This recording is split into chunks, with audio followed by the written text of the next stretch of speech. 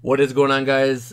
Joey Franzo here with Flexx Training Systems. Today we're going to be talking about soft touch or sinking in the bench press.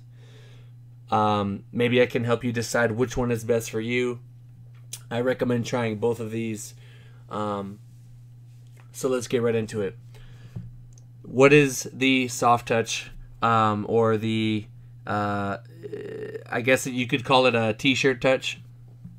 And basically, uh, that is when you are bringing the bar down and minimally touching your chest with the bar uh, in order to get a press command and then pressing up. Um, the other kind of bench press, the way that I like to do it, for me personally, this is me personally and the way that I'm built.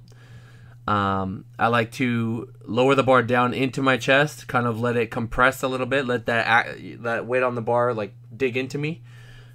Uh, I feel this lets me uh, hold the bar for a very long time uh, on my chest. So if I get a judge that makes me long pause, I'm gonna be good to go. It also gives me a lot of control. Then you know they press, they give the press command, uh, and then I fire off the chest.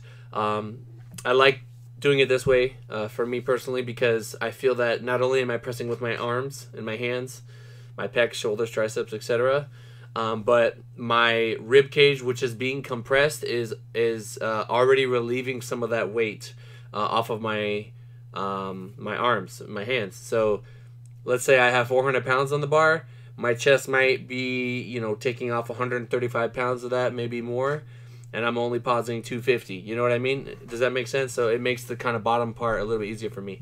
Um, then you fire up and you're good to go. Uh, there are pros and cons to each, but I think what you decide to do is not gonna really be um, like what's best for you isn't gonna really be your choice. It's just gonna be the way that you're built, right? So it's gonna be your genetics. It's almost like it's predetermined. I will say that if you can bench with a soft touch, um, you you might be able to do both, uh, and you can play with it and decide which one you like best. But if you can get a big arch and really reduce your range of motion, then I think having a wide grip and just kind of barely tapping on your chest um, is going to allow you to lift a ton of weight uh, under control better than uh, if you were to sink into your chest. Um, so one way to kind of decide which one is best for you is when you are when the bar is on your chest.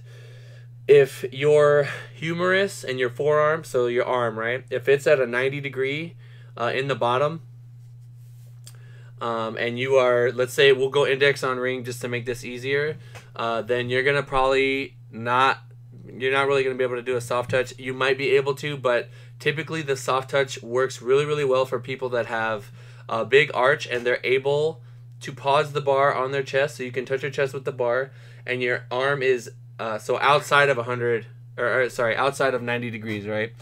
Um, so it's almost like a uh, um, I don't know if I had to give you like degrees, like we're talking like one one ten maybe something like that. Uh, it's outside of ninety degrees, and uh, this way it's almost like you're doing a partial or a block pull. Um, obviously, we're talking about bench press here, but you're you don't really have to go that full range of motion. It's not like the squat where you have no choice but to go down a certain amount. On the bench, there's no uh, requirement for that. So if you can kind of manipulate your grip to reduce your range of motion and do the least amount of work possible to lift the most weight, right? It's all about finding mechanical advantage. Um, then that might be something for you to try. Uh, when you really get it down, um, you're gonna one not only be able to handle a ton of volume because you're doing a partial range of motion, right? So if you think of a close grip bench, um, you're coming all the way down. You're like, you know, getting a full range of motion, and you're pressing all the way up. You're gonna tear a lot of muscle fibers. Uh, it's not a bad tear. It's just like micro tears, you know, normal training micro tears. Um, you're gonna tear more doing that, you know, a close grip or like flat dumbbell press, for example, than you would doing any kind of lift in a partial range of motion. Um, so when you're do when you're benching with max grip, uh, soft touching, you're gonna probably be able to bench three, four, five times a week. Uh, I have guys benching six times a week. It just depends. You have to uh, you know, you can work up to that, but you'll usually finish your session like you know, not nearly as beat up as you would if you're, um, you know, someone that benches with a closer grip, or you have a wide, you have as wide as legal grip as you can possibly have, but you just have really long arms. Um, for me personally, if I bring my grip all the way out, I'm I'm still, um, you know, my elbows are still pretty bent, so I'm not going to be able to have that control uh, as as much as someone who's to have their arm pretty much like almost locked out when they're touching their chest. Um, that's the main thing. If you're paused on your chest and you're pretty much close to lockout already with your like in regards to how closed or open your elbow is, then um, you know you're gonna probably be better with a wide grip, soft touching than you are sinking. Um, with me, even if I'm at index on ring, I'm still I'm still getting a decent amount of range of motion.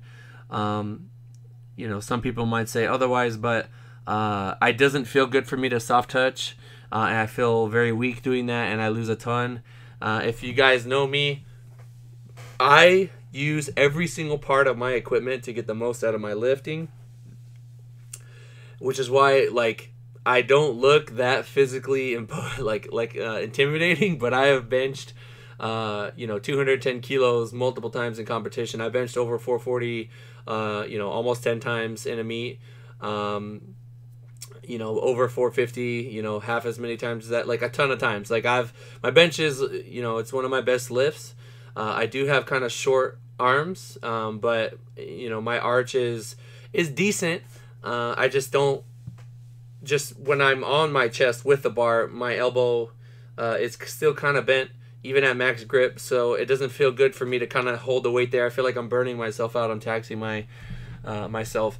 Now when you sink you don't want to uh, just get loose. That's like a big thing that I see with people that try to do it. They kind of just get loose. They lose their tightness in their chest or the air in their chest, and the bar kind of just rolls down towards their belly button, and then you end up fucking everything up. You just lose all your composure. Um, what I like to do is literally, you know, let's say I'm in a meet and I'm benching my third attempt, right? I get the hand out, I squeeze the bar as hard as I possibly can. I'm flexing my abs I take a big breath. every muscle in my body, so my hips, my back, legs, everything is tense. Everything, upper back especially.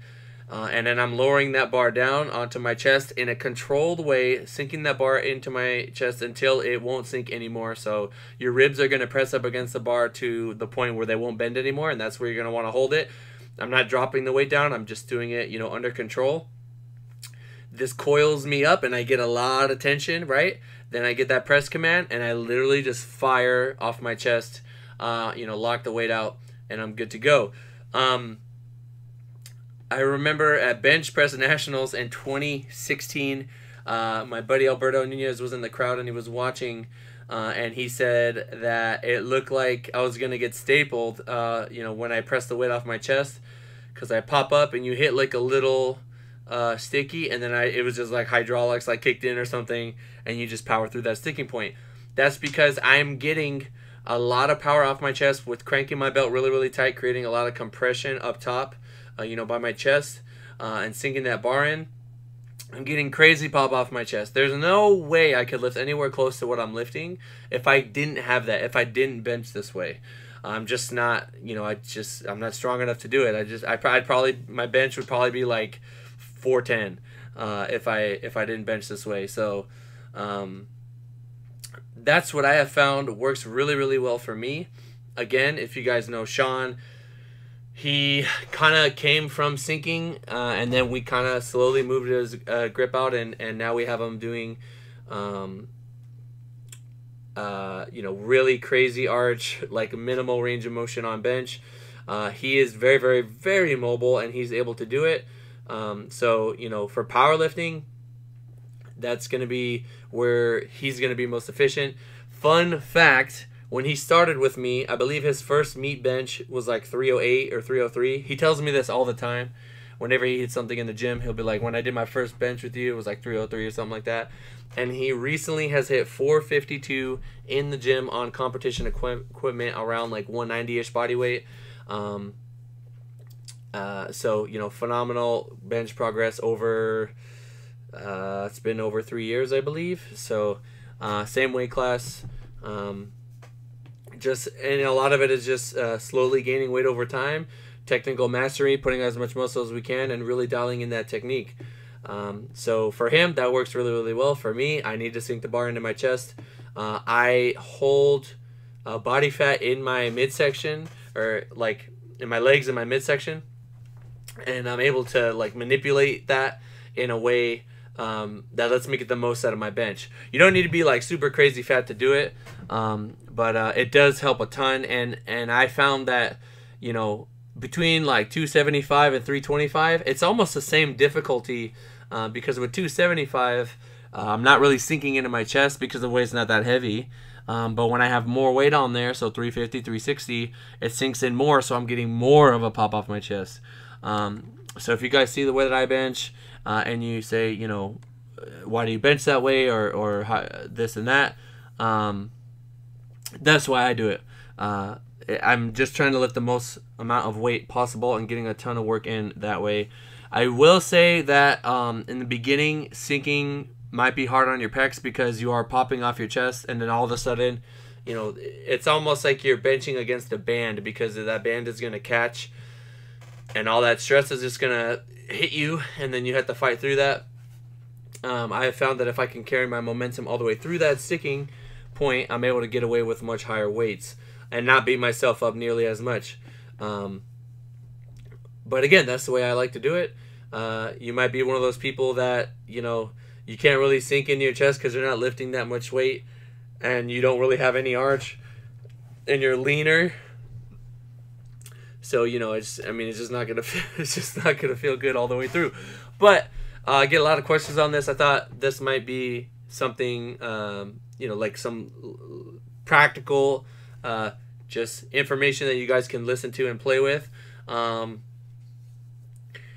uh, but yeah, guys, uh, I posted about a Q&A uh, on my Instagram and Snapchat, and I've gotten already, like, I already have, you know, more than enough questions, but I haven't picked them all yet, and some of them are dumb. um, but I am going to go through a bunch of them uh, probably tomorrow morning. So if you guys want to jump in on that, uh, just go ahead and go to my Instagram, go to my IG story. It'll be up there for a couple more hours.